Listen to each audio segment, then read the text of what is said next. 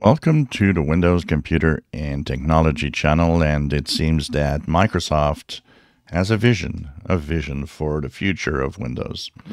In a series of videos that it will put online, um, this being the first one, there is now a um, focus on what the future of Windows might be.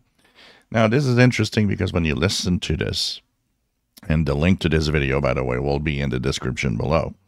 Uh, one of the things that I find funny is that it has many notions of we will interact with our Windows PCs, we will talk to our Windows PCs, we will. Isn't that something we've heard before?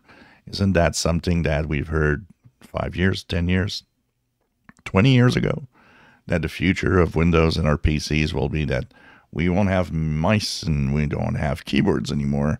Everything will be interaction at the human level. Um, so of course, we're in a different place. We are in a place where AI is getting um, to control a lot of things. It will be within Windows.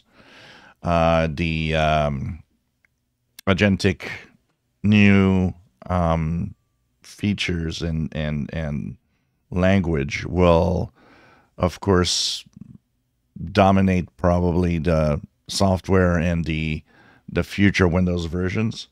But I don't know. We'll see here. Uh, at least they do have a 2030 vision, which means they believe Windows will still be there in 2030, which I guess means I'll still be here doing this in 2030, where we will. Uh, we should actually take notes. Sometimes I, I wonder if I shouldn't take notes and say, you know, remember that in 2030 you have to come back to this 2025 video and see if the vision's there.